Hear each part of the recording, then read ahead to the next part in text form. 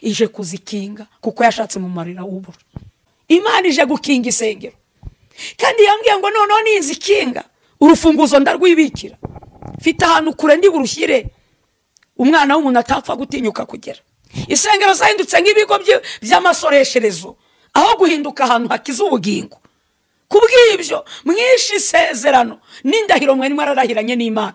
Bapasiteri muribuka murahira imana babimikisha amavuta. Yuko mutazanywe n'ibihembo. Aho bazabashyira hose nta rubanza. None se ubu niko biri? Ubu biracyari ukuragira umukumbi cyangwa muri muri bije z'amafaranga. Muri aha abadiyakoni mwagiye muhangara gufata abahanuzi b'imana. Ninde wafata perezida wa repubulika akamucecekesha? Harya yagubwa neza.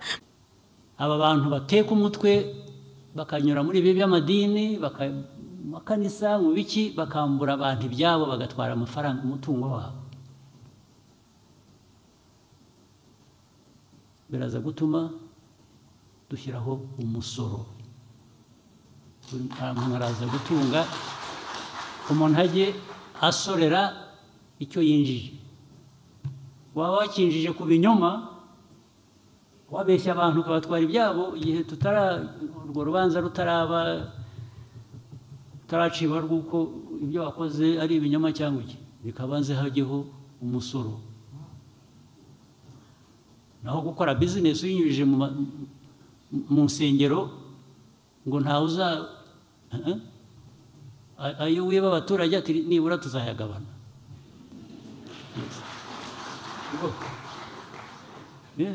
Ajye muri leta. Ajye gufasha abo tuzasanga baragiriwe nabi. Ako kajagari gacike kandi ntaho bihuriye iyo babivuga barabiduramatayizingi duramatayizingi barabikabya bigasa nkaho "Eh, eh, eh, leta leta yafunze insengero yafunze ibintu byacitse bikavuga mu isi yose bu- bu- bu- bu." bigasa nkaho hateye ikintu cyo cyo kwanga kwemera cyangwa cyo kwanga imana cyangwa cyo kugira ngo "Eh, eh, eh, mureke kubeshya abantu bareke kubeshya ntaho bihuriye ntabwo uzaza witwikiriye ikinyoma cy'imana ngo wi- wice abantu. Abo bantu wica nabi imana. Uburenganzira si urabuvana hehe nanjye mfite uburenganzira ubwo wenda nanjye nabuhawe n'imana.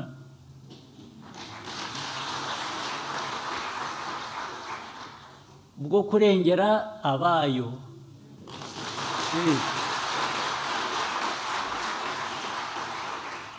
So nta- ntabwo waza ngo untere ubwoba ngo eh, ntandambara.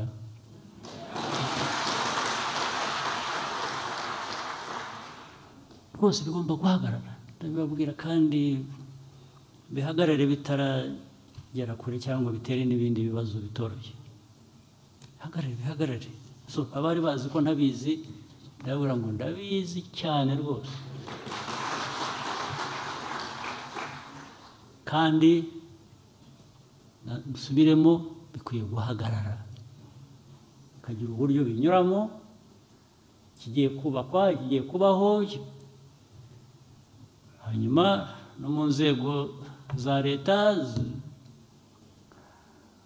abazikorera abazirimo abafite uko bemera ibyo bemera ibyo bakurikiza babikurikize mu buryo bw'amategeko batandukanye ibintu.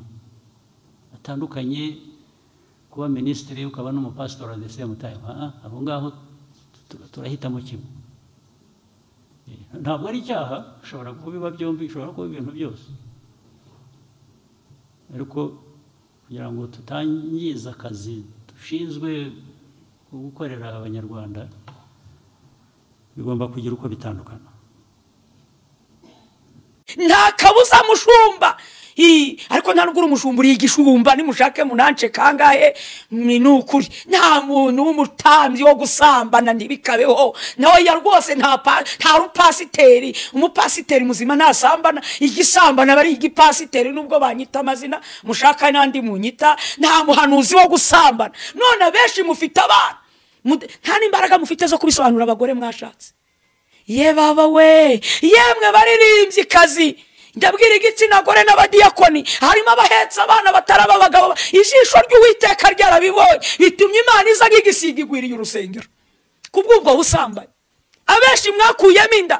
Bari kwiyita abakobwa muri abicanyi muri indaya. Imana ije nk'igisiga igwiriye urusengero. Wowe uraje uvuye iyo ngiyo? Ntabwo tuzi iyo uturutse ngo baguhaye kuyobora paruwasi.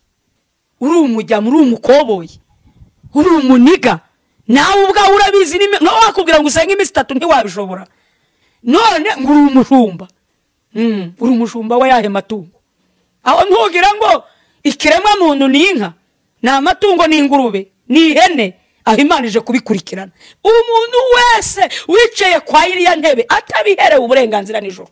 Igiti imana itateye cyose. Ije kukirimbura bimitse abatambyi nkabizi. N'ibiyimikira bashyiraho ibikomangoma. Imana atari yo yabikoze. Ariko twagiraga kirazira mu rwego rw'itorero. Ariko uyu munsi wa none hari ibyagiye bizirurwa. Bitewe n'indamu n'ibyo abantu bagamije mwishe isezerano mwari mwarasezeranye imana kuyikorera. Icya mbere ari ukwita ku mukumbi. Mugeza kuri kirisito ariko ubu ntabwo icyerekezo ari umukumbi. Icyerekezo ni kashi ni cyo kibazo. Kabiri ikindi umuntu yakora ibyaha yakwica yaroga yasambana icy'ingenzi ni uko abazanira amafaranga. Nta kindi kigamijwe. Ni amafaranga. Ese muri kureba nubwo mwayakurikiye abahaye amahoro. Mwari muzi ko intebe zanyu abenshi umwuka w'imana yasanze akanyereka ziteye mu marimbi. Abenshi bari kurigitana na zo ari intebe zuzuye zimeze nk'izisize amazahabu ariko z'ibyubahiro. Ikibabaje bamwe bararigita za ntebe agasibangana abandi nabo babona za ntebe bakarwanira kuza kuzicaramo. Ntibamenye ko ari ibibajyana mu rwego rwo kurimbuka. Mu gihe cyose mutari gukora ibyo data mu ijoro ashaka muri gukora ibyo abantu bashaka. Ntimwumvire imana ni ukuri. Ntimuzabura guhura n'amakuru. Ntibiteye isoni kubona korari igihugu cyose cyuzuye amakorari nta n'imwe yavuga ngo reka tujyane byibuze n'umuneke kwa muganga. Mu nzu z'imbohe muravuga yesu wo ku munwa gusa. Nta bikorwa. Koko. Imana yambwiye ko igarutse ku itorero kandi ije nk'igisiga iyo igisiga kije kikaza ku nzu yawe ntabwo kikumenyesha. Kiza gitunguranye. N'imana ni uko ije ije nk'igisiga itunguye itorero. Yigeze ko mu butumwa imbwira ko insengero zikinzwe. Ntabwo yigeze imbwira yuko zakinguwe. Cyakoze muri ibi bihe yanganirije isanze mu nzozi imana imbwira ko ngo bafunguje imfunguzo z'icurano barazifungura. Imana irabareka ngo urebe ko wenda haraba impinduka rwose mwarakinguye murabizi. Atese ubwo? Rizikini wari wavangiwe. Eee nanjye narasenze mbaza imana ngo ibi bintu ko benshi bambwira ngo ko zafunguwe imana irambwira ngo ni ukuri ntabwo ari njyewe uwiteka wakinguye. Ni abana b'abana ariko ndabaretse ngo ndebe ko bakwisubiraho. Hakagira impinduka. Ndaje nk'igisiga ngwira urusengero. Ku bw'ibyo imana irambwira ngo uko yari yazikinze bwa mbere mukabasha kubona imfunguzo mukazicura mukongera mugakingura. Uwiteka ariyiziye. Yemwe matorero imana yera yo mu ijuru iraje igarutse gukinga isengero. Ntabwo nzi umunsi cyangwa ukwezi. Sinzi n'umwaka. Wenda wasanga ari kera ntawamenya ariko imana ije gukinga isengero. Kandi yambwiye ngo noneho nizikinga urufunguzo ndarwibikira. Mfite ahantu kure ndi burushyire umwana w'umuntu atapfa gutinyuka kugera. Ngira rushyira imuhengeri. Nuko ahangaha ngwira urusengero rw'uwiteka kuko bishe isezerano ryanjye bakica n'amategeko yanjye. Ndabwira aho mbarizwa mwibuke isezerano barokore ba pantekote adeperi mwasengeraga mu kuri no mu mwuka. Mugaha imana umwanya. Imana ikabereka inzira mukwiriye gucamo. Mwari mwaragiranye isezerano rikomeye cyane. Yuko muzayizanaho abantu. Yaje gutungurwa nuko aho kuzana abantu. Mwahindutse intumwa z'amafaranga. Boshya abasoresha. Insengero zahindutse nk'ibigo by'amasoresherezo. Aho guhinduka ahantu hakiza ubugingo. Ku bw'ibyo mwishe isezerano. N'indahiro mwari mwararahiranye n'imana. Bapasiteri muribuka murahira imana babimikisha amavuta. Yuko mutazanywa n'ibihembo. Aho bazabashyira hose nta rubanza. None se ubu niko biri? Ubu biracyari ukuragira umukumbi. Cyangwa muri muri bije z'amafaranga. Imana ikambwira ngo mbabwire ngo bishe isezerano. Tugeze ku rwego imana ivuga umuhanuzi uvuze agahura n'akaga imana imunyuzemo. Kandi ryaritwaga itorero ry'umwuka? Ese ubu noneho ni itorero ry'iki? Niba mudahaye umwanya urubuga ngo ikoreremo. Rimwe na rimwe abahanuzi bagahura n'akaga mugatera amabuye abahanuzi babatumweho. Abandi mukabicisha ubu noneho eh, ko imana igarutse murabigenza ute? Ko itari butume igiye kwiyizira. Mukibonanira. Muri aha badiyakoni mwagiye muhangara gufata abahanuzi b'imana. Ninde wafata perezida wa repubulika akamucecekesha? Harya yagubwa neza mwibuke ko mwazaniye imivuma benshi. Ingo zanyu ababakomokaho n'imiryango yanyu. Muzi ko ari imikino. Twikomereze. Kuko bishe isezerano ryanjye. Eh, ngo bakica amategeko yanjye. Bapantekote mwibuke ko hari amategeko twari dufite twagenderagaho. Eh, twubahaga imana kandi burya nta n'igihugu kitagira amategeko ngira ngo no mu muco wacu w'abanyarwanda tugira kirazira. Kirazira. Uzajya ubisanga mu ntara no mu turere hari aho banditse ngo kirazira.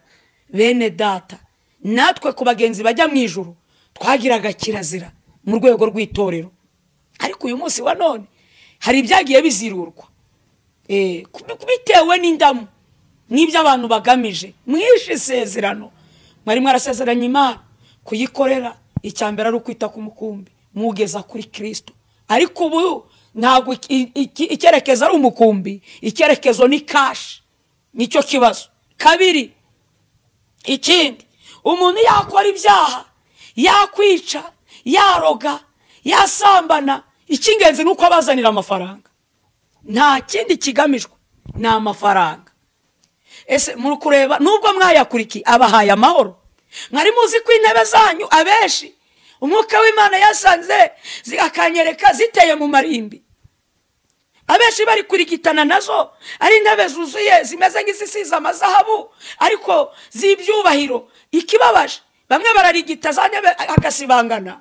Abandi nabo babona za ntebe bakarwanira kuza kuzicaramo. Ntibamenye ko ari ibibajyana mu rwobo rwo kurimbuka. Mu gihe cyose mutari gukora ibyo data mu ijoro ashaka muri gukora ibyo abantu bashaka. Ntimwumvire imana. Ni ukuri. Ntimuzabura guhura n'amakuru ariko imana igarutse ije nk'igisiga. Mu bintu igwiriye ni urusengero ije kuzikinga kuko yashatse mu marira w'ubura kadusenge ndaguhimbaje mucunguzi wanjye. Ndakubashye mwami w'abantu ni we gitare gitangaza amahanga yose yaba ari mu isi. Niweho mbaraga zimira izindi. Niwe bwugamo bwacu. Niwe ntare yo mu muryango wa yuda ukaba igishyitsi cyo kwa dawidi. Izina ryawe ni iryera. Niba tugutonyeho ukabishima wemere ubusabe bwacu. Uramire ubugingo bwa benshi. Abaguye ubegure. Abasinziriye ubakangure. Garuka ku itorero ryawe. Mana data wongere ukangure abantu bawe. Ntabwo twifuza ko barimbuka. Ariko data niba tukugiriyeho umugisha tabara ubugingo bwa benshi kuko burimbutse. Kandi amaso ya benshi arahumye nta mbaraga zo kubireba. Kuko benshi bari kuramya ibigirwamana abandi bakaba bari kubararira ibidafite umumaro. Ndakwinginze ngo wongere ukangure ubwonko bw'abantu. Bibuke ko mu ijoro hari imana. Urakoze kubyumvishije kandi kutabaye ni mu izina rya yesu. Amen.